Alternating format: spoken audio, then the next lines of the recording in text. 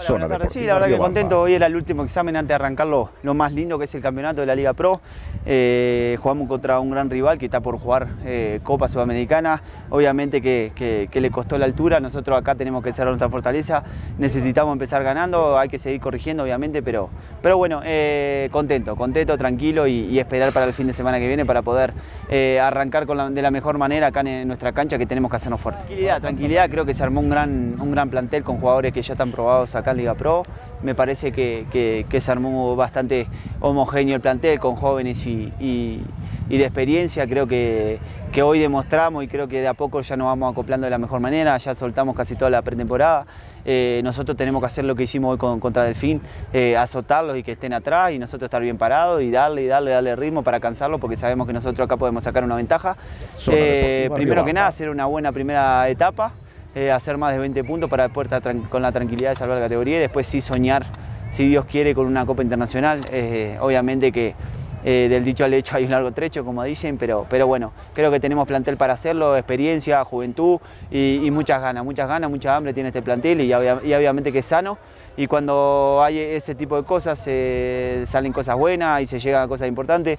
Ya lo dijo Luis Alfonso Chango que es lo que quiere, quiere que Muchurruna esté en un, en un torneo internacional y vamos a ir por eso. Dice, por suerte puedo aportar mi granito de arena, también de una asistencia. Eh, me, te- me estoy empezando a sentir importante como un golaseo, la verdad que, que es lo que quiero, lo que busco. A mí me gusta tomar mucho riesgo a la hora de jugar.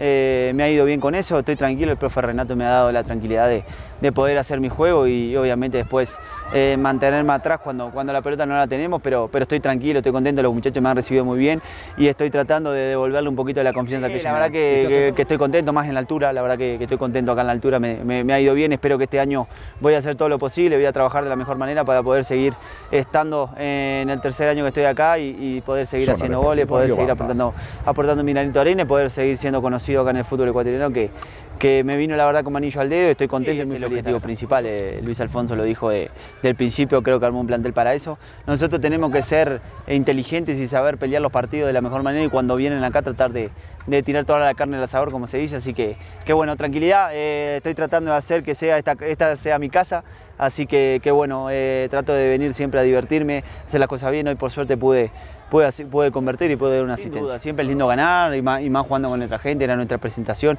creo que dimos a la talla, creo que tuvimos buen ritmo de juego, creo que tuvimos buena buena, buena participación atrás, obviamente que tenemos que seguir mejorando, necesitamos tener ser más profundidad, necesitamos ser- tener más gente pulsante arriba para poder terminar la jugada porque es, es lo, que, lo que nosotros nos va a hacer fuerte acá. Obviamente que, que es todo un trabajo, vamos a llegar creo que al 100% para jugar con libertad y obviamente siempre ganar es lindo. Zona Deportiva. Riobamba.